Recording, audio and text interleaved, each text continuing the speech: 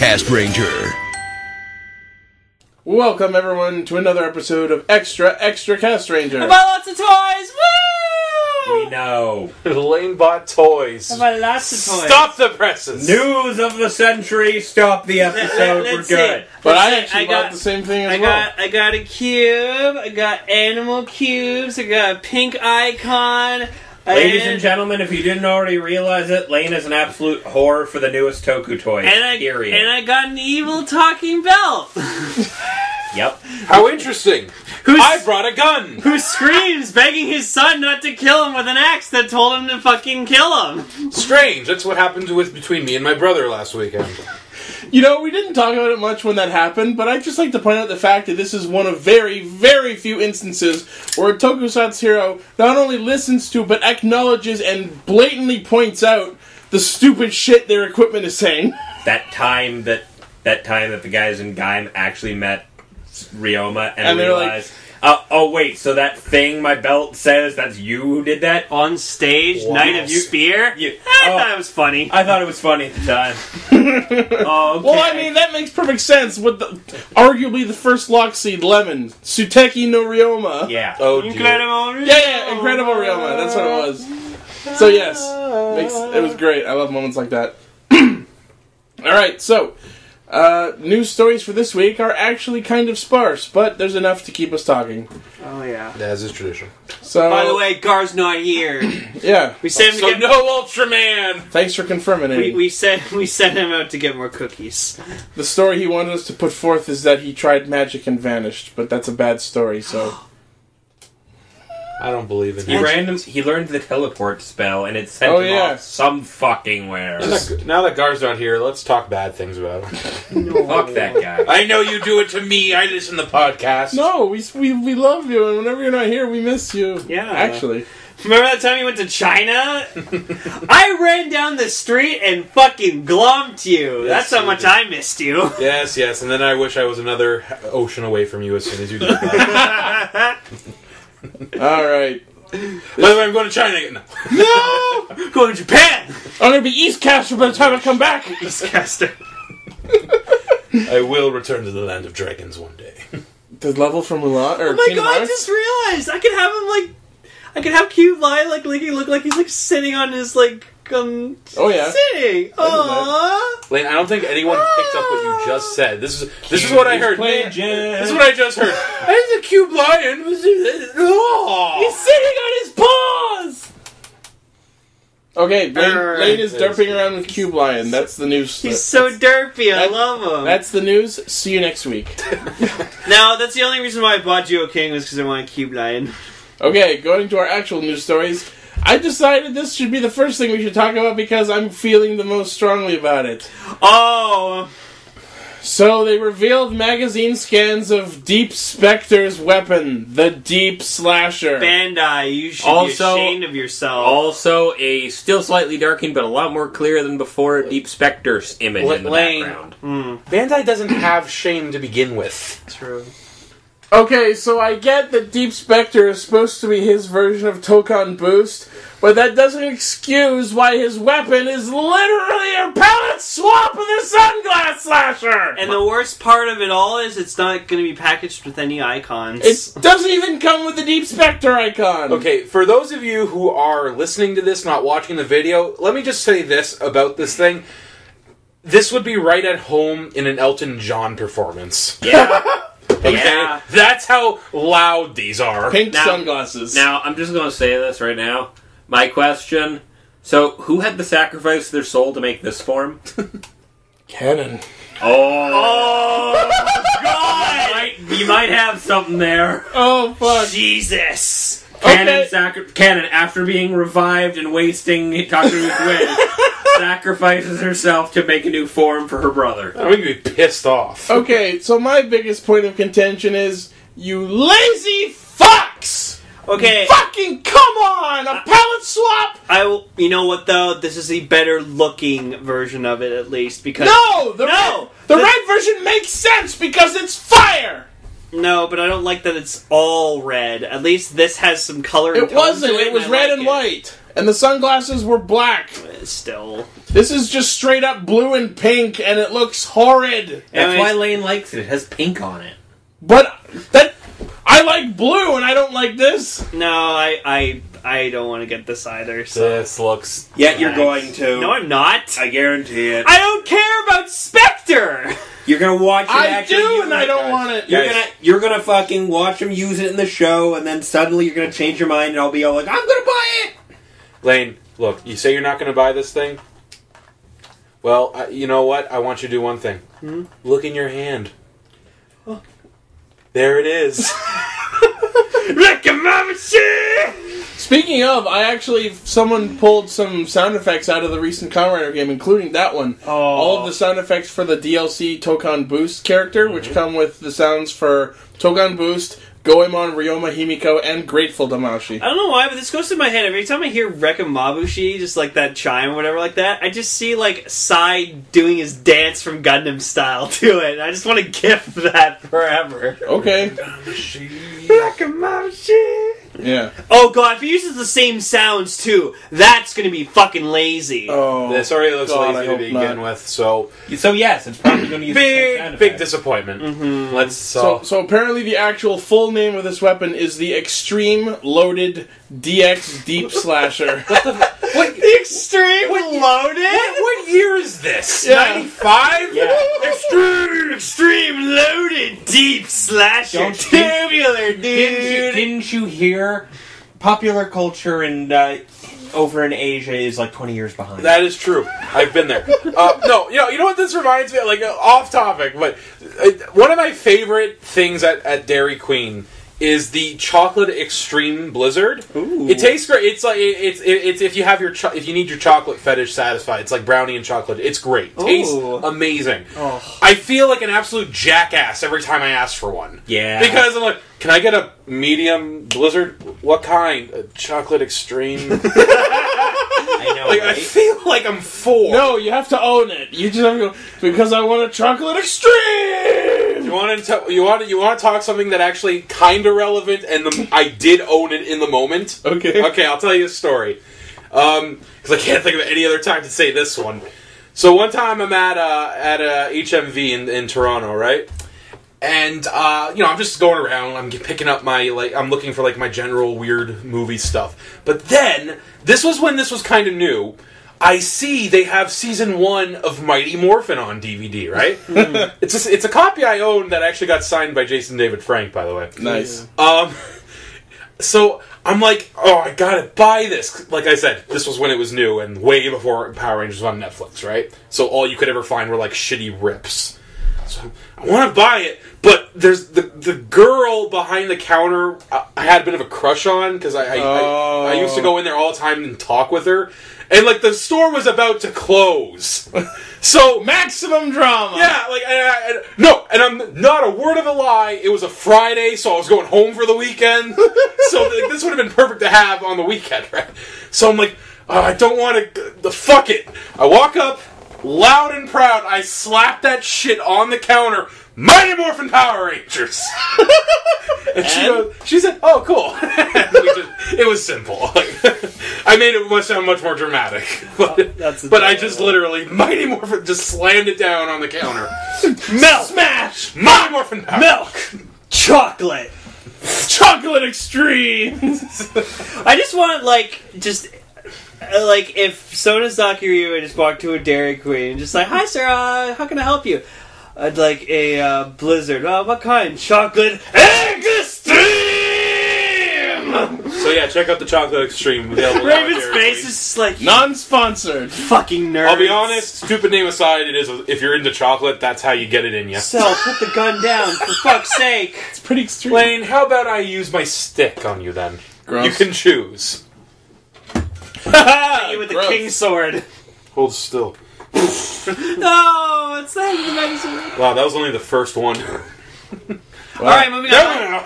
Uh, this one sucks. Before we move on to the next story, let's just take a moment to look at this silhouetted design Oh, yes, of Deep yes, Specter. yes. Uh, I don't I, know. I'm, I'm still totally correct that it's Kamen Rider Kubia. Jesus fucking Christ. It, I, I think Zoom it in. looks cool.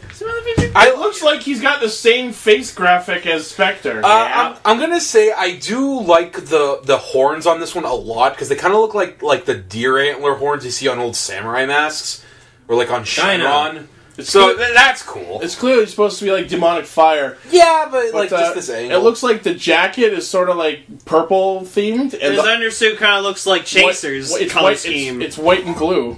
oh, okay. So interesting. Wait, go down. Okay, if you look at these glasses quickly enough, doesn't that look like Waspinator? His face, Kind of. the big eyes, and like the thing in the middle, like man. a little bit. eh. Cool. But yeah, Ugh, there's our shot at Deep Specter for now. We'll probably have a better one by next week. we will see. All right. Next on news, more. So I remember a while ago we mentioned that uh, Hiro Mizushima, aka Kamen Rider Kabuto, had been confirmed as appearing on HBO's Girls, and that appearance has happened. Did he have an awkward sex scene? We can only hope. Because Ichi- that's what that show is. Ichi, have you been watching Girls? No, this is just in the newsfeed. Wait, Lane, Wait. you know who's in? Oh my god, the fucking episode he's in is called Japan. Of course it is. Wait, is this it right here? This is a clip of it. Oh, let's see Wait, it. Lane, like, do you not know who's in this show? No. Adam Driver. This is how he got it. This is how he got known. Oh. So apparently, Kylo Ren from Force Awakens. If you don't. So wait, wait, wait, wait. There's a show where Kylo Ren is in it, but also Kabuto. Oh, oh, can I? Can we have that matchup, please? so apparently in this episode he They have gay sex in this episode. it's girls. I can believe it. girls, girls. they have a very awkward gay sex scene. Oh. and then and and then one stabs the other. Look, see. Yeah. So Super speed. so apparently so apparently in this episode, Hiro Mizushima plays a surprising no one, a Japanese man who will work alongside Shoshana, played by Zosia Mamet, a newcomer to the country. This is Mizushima's first role in a foreign production, and the episode airs Sunday at 10 p.m. Uh. exclusively on HBO. All right, we're gonna quickly watch the clips. Let's watch the clip. we're gonna pause while we watch this. Okay. Um. So the clip didn't really feature him too much, but You saw him. They mentioned how much of a celeb he is. So, if you watch Girls, go for it. I say I'm not a fan of the show myself. Never but- even knew it existed. apparently he's the man who will stand at the top of this episode of Girls. No, he'll, he's the man who will stand at the top of watching. No, he's the man who'll stay on top in bed. There you go. Heyo. He's the man who will sit by while a dude gets whipped and poured hot wax on him. Well, I mean, I'm there's okay that. with that. That'll get people looking. Pretty for, standard day in Japan. That'll get people looking for this clip. All right, next story. So good to see some. So uh, actually, before that, not a fan of the show, but it is kind of neat to see the uh, the cross cultural thing going on there. Oh yeah, no, it's always interesting. Oh, right this. Yay! Please be true, please. Okay, so- the official Superhero Year website posted a teaser image for a new Kamen Rider project uh, with a countdown, and there's a silhouette of a rider on it, and I don't really necessarily agree with this assumption, but a lot of people are thinking based on the shape and the, The style. pose. And That- the, and the fucking claw marks and the fucking logo. Yeah, that it may be a Kamen Rider Amazon movie of some sort. Now, Gar, when I shouldn't believe him at the time because sometimes he is full of shit, but I I love you, Gar. You know that. He says that it's apparently like the new Gamba Rider for G- the Ganbarizing game. But why would they promote that in relation to the Ichigo yeah, movie? right. So no, I I really hope this new thing because one of my things in Gelider was like a modernization of Amazon. so if that would be cool. And Like, should fucking awesome. maybe you should clarify what Gelider was for people who don't know. Oh, okay. So if you're new to the- listening to the podcast, we had a thing last year called uh, Kamen Julider, which is where the whole month of July each uh, day we posted like a picture of something, a little tidbit. It's about like one of those 30 day Facebook Favorite, challenges. favorite rider, favorite, kid, show, favorite show, side yeah. character. Yeah, so Yeah, um, we're hoping that in September we're gonna do September. for Sentai. Yeah, so Oh, I'm gonna have a really short list. Gokaiger. Good Kaiser. Geyser, go Most Kaiser, hated, go Tokyo Your Sure, list won't your list won't be short. You'll have a long a list that's 30 days long like the rest of us. It'll just all be Gokaiger. Oh yeah, fuck. But anyway, Lane, So I'm I'm excited for Amazon. if it is, which it does look like it will be, I, you think they'll have him uh, dodge another train again? The only the only the only issue I see with that assumption is he's missing the fucking things on the back. That's exactly what I was about to say. I don't think it's he Amazon does have like he little doesn't have. spikes going downwards on the back of his helmet, and he's kind of mi- judging by the a- angle of the fin on the top of his head. He's kind of missing those. That's what I'm. That's what I was saying. That's why I don't think it's Amazon because it's not Sonic the Hedge Rider. yeah, it, it's not. Unless it is a redesign. Exactly, like I don't It, no, it, I don't think they would. Cha- they would get rid of something. Well, so I see it iconic. because if you my my immediate thought was a sequel to the next. Oh, maybe. Like we're finally going to continue on and do the remake movie for Amazon. Okay, okay, but here's what we what- kind of skipped X to but, go you know. against what you're saying about the head frills, though, look at his arms. Look at the things hanging from his wrists in the silhouette. They're there. yeah. So mm-hmm. I, I don't know. Like we're but I, we both have things that are going with and against. Yeah. So who knows? We'll Who we'll find out a week from now. Yeah, yes. it, it says in the article more information will be revealed after seven days. So by next week we'll have some info. Sweet. It would be cool to will see revealed Amazon in again. seven days. Seven days. You're all going to Amazon. I love doing that. Uh, some news on the Ninja Steel front. I was like, why is the ninja on the screen? Ninja Steel. Uh, apparently, they're currently undergoing casting for Power Rangers Ninja Steel, and they've confirmed that Judd Lynn is back as the executive producer. Cool. Who, uh, as we, as most Power Ranger fans know, was the executive producer of Dino Charge and Super Dino Charge, and he is best known for his older work in Power Rangers Space Up to Time Force. So some of the best. yeah. so who knows? Who knows? Right. So that could be a good thing for Ninja Dub. with uh, with Ninja Steel, we've talked about the incredibly out there premise. Who knows? Maybe this will, if it works out, th- this will show. Hey, sometimes it's it it works to take a risk. It'll be another RPM, maybe. Who knows? Uh, as we, as it stands, Ninja Steel is set for a 2017 premiere on Nickelodeon, and uh, we'll see what other news comes forth. Aw, yeah.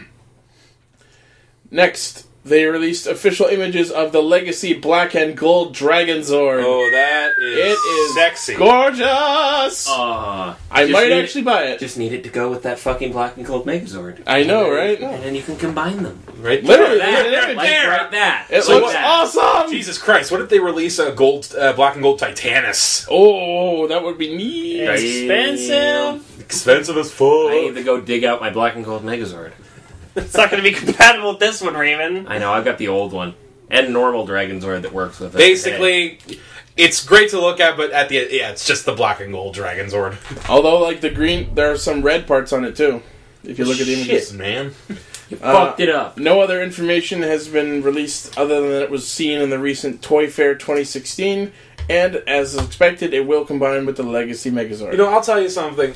I always, I, not, I never disliked the Dragon Zord, obviously, but I was one of the only people, at least in my group of friends, who preferred it when it combined with the Megazord. Oh, yeah. Because I just, I never like. I mean, I it was cool when it fought on its own, but like, I don't know. Like maybe it was just me because like all my friends were just like, no, it's cooler on its I own. kind of, I kind of preferred the combination with the frigging Triceratops and Saber. Yeah. Fighting mode. It was Yeah. called. yeah, the fighting mode. I'll always remember as a kid, I always got excited uh, when it just burst out of the water. And Yeah, was no, just that was epic. I Yeah! was like, you got fucking I am Godzilla fucking Godzilla. Dun, dun, dun, Fucking dun. respect me. with Mecha Godzilla hands. I lo- yeah, I was gonna say I love just watching it like shoot shit out of its fingers. Okay, you want me?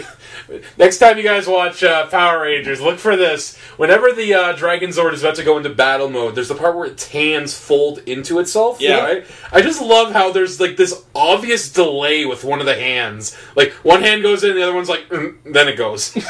Yeah. Okay. and because they use the same footage over and over. Okay. Also, also when its uh, chest uh, like blinked. oh yeah, yeah. Oh, fuck. Just- Yeah. Dragon Zords is one of the coolest things ever. Yeah. Yep. Or Dragon Caesar.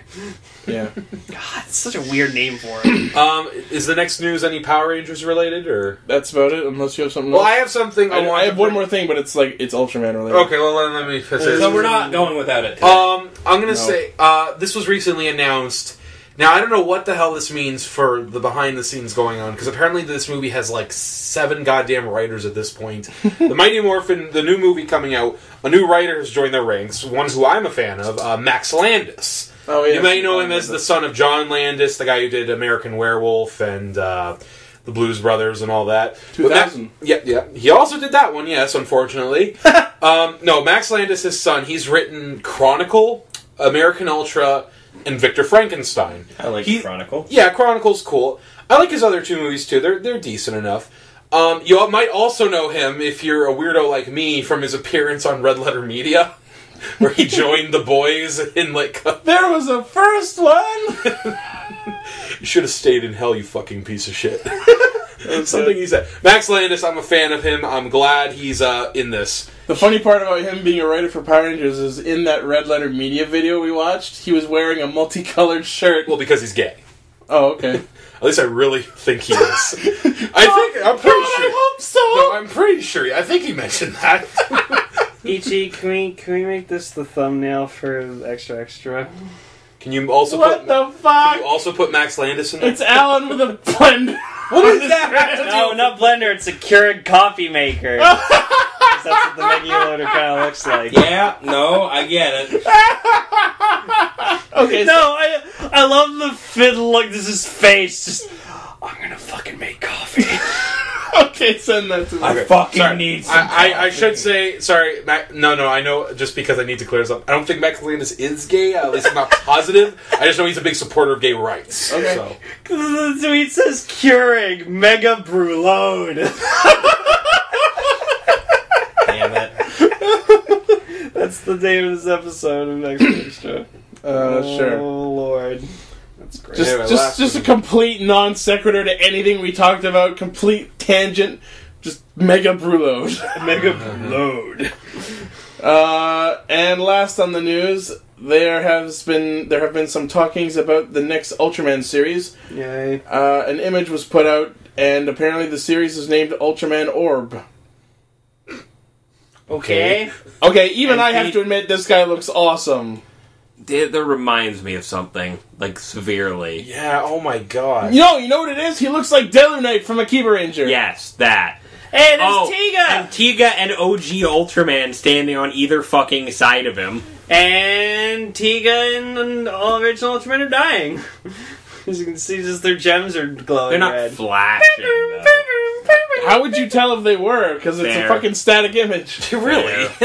No, but usually when it's in the red, that means they're dying. we all know about Staryu. Yes, yes. But no, this guy actually looks pretty fucking awesome. It's like he's got armor. Also, his He's sword. reminding. Also, the sword he's holding, the fucking hilt of it looks like Tiga's transformation device. He's That's reminding probably me the of joke. something too, but I can't put my finger on it. Hmm, oh well. But that's it for news. Um. Oh well, we did get some leaks to uh, some sounds for uh, Grateful I guess that's not it for news. I news. talked about that before. Did you? I mentioned we got the sound rips from the game. Oh, did. okay. No. I guess that is it for news. But it was interesting though how, how like um it kind of when you hear Grateful Damashii sound, it kind of sounds like a freaking like a hoedown or something. That's Well, what I always considered uh, Grateful. I always considered Grateful Dead to have more of like a mellow kind of rock sound. Oh wait, you're talking about toys. Yeah. I was talking about one of the greatest bands of all Ah, time. cheating me. I still can't believe. I mentioned this one. I still can't believe they actually calling it Grateful Damashii. Grateful No, I'm, I'm, I'm just amazed. They're actually like like uh like uh referencing a band.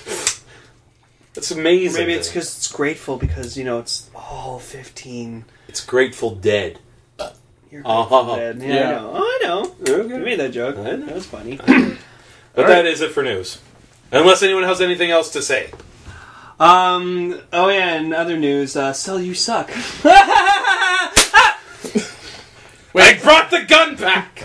I have a thing also. No. Good night, everyone.